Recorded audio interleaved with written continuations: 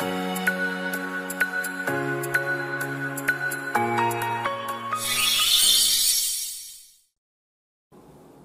い、こんにちは、レトスノーです。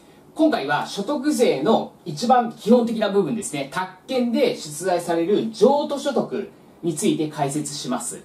で、今回はもう非常に、まあ、基本的な部分っていうのかな。まあ、試験でも出ない部分です。試験でも全然出ない。ただ、えー、譲渡取得の問題が出た時に、えー、ちゃんと理解をするためには、ここを理解しておかないと、えー、その後々、いろんな控除とか特例とか、全く理解できないと思うので、もし、え所得の意味がわからないという方は、今回の動画ぜひ見ていただければと思います。で、所得の意味わかるよっていう方は、もうこの動画、え飛ばしていただいて大丈夫です。で、まず、所得というのは何かっていうと、収入引く経費なんですね。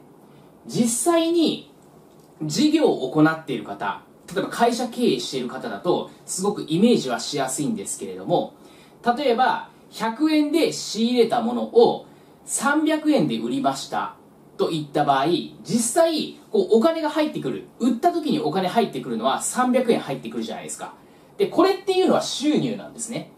で、仕入れに100円使っているわけだから、経費は100円ですよね。で、所得っていうのは実際に儲けた分なんですよ。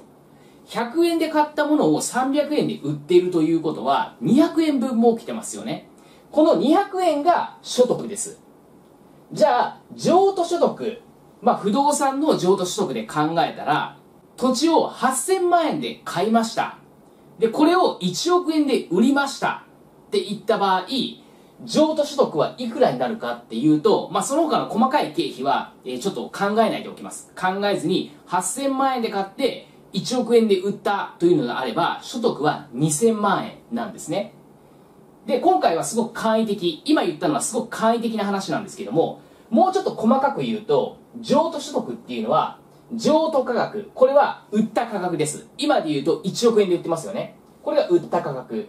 ここから取得費と譲渡費用。これを差し引くことできるんですね。この2つを引きます。取得費っていうのは買った価格です。今の具体例で言うと8000万円で買ったわけだから、8000万円が取得費に当たりますね。また、買った時に登記をするわけだから登録免許税もかかってきますまた仲介手数料とかもかかってきたりしますよねこのように買った時にかかった費用これが取得費ですでさらに譲渡費用。これは売った時にかかった費用。売った時にも登記をするわけだから登録免許税かかります。また仲介手数料もかかります。ここ登録免許税仲介手数料。登録免許税、仲介手数料と書いてあるんですけども、これっていうのは、こっちは買った時の費用です。こっちは売った時の費用です。で、2回かかってきてるわけですね。買った時に登記をしますよね。自分に移転登記してもらうわけだから、その時の登記。で、こっちは売って、飼い主に対して移転登記しますよね。その時の費用と、まあ、いうことです。でこういった金額を差し引いてくださいねっていう話です。ここで一つお知らせがあります。弊社レトスの個別指導は、忙しくて時間が作れない方、暗記が苦手な方、そもそも勉強が苦手な方、そういった方でも無理なく、無駄なく、効率的な勉強法を実践することができ、たった6ヶ月で宅建合格を目指せるサービスとなっております。計画表の作成サービス、ワントゥーワンの計画の進捗管理サポートサービス、24時間365日質問し放題サービス、効率的な勉強法である理解学習を実践できる教材。これらを使ってあなたは周りの人よりもいち早く合格に近づくことができます。もし次の試験で絶対宅建合格したい、そう思っているのであれば、ぜひ個別指導をご検討ください。個別指導はこの動画の下の概要欄に URL 貼っておきますのでそちらからご確認ください。また左上のボタンでも個別指導の概要動画を見ることができます。あなたの受講をお待ちしております。では動画の続きをどうぞ。で、じゃあ、課税標準ってどうなるのか、譲渡取得における課税標準っていうのは、基本的にはもうこの譲渡取得、これが課税標準になってきます。つまり、この部分ですね。これが譲渡取得になりますよ。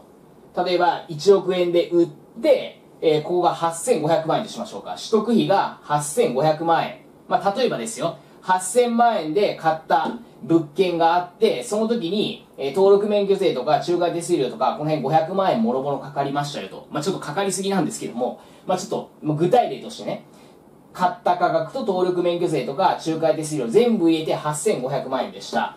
で、売った時、え500万円かかりました。まあこれもちょっと多すぎなんですけども、ちょっとイメージとして考えてください。そうすると、譲渡取得っていうのは1億円で売ってるわけですよね。1億円から8500万円と500万円を2つ差し引いて、こう9000万円です。かかっている費用は合計で9000万円だから、譲渡取得は1000万円になりますよっていう話です。で、課税標準はって言われると、この譲渡取得から特別控除をするわけですね。特別控除っていうのはこれから勉強していく内容なので、今は分からなくてもいいです。一番有名なのが3000万円の特別控除ってやつです。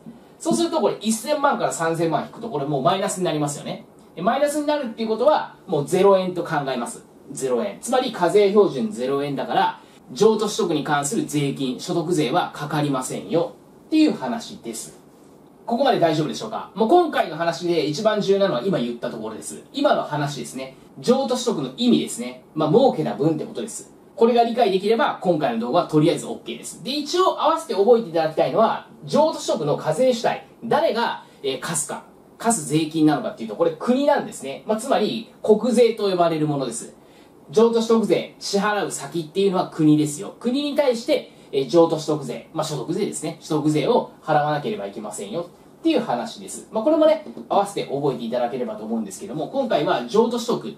これの意味。ここをちゃんと理解していただくっていうのが今回の動画の目的の内容なので、まあ、具体例今回入れさせていただいたのでぜひですねこの部分は最低限覚えておきましょう。でその後ですね2回目からはこれが分かった上での解説になりますのでここの部分は最低限頭に入れていただければと思います。今日も最後まで動画をご覧いただきましてありがとうございました。宅建合格目指して一緒に頑張っていきましょう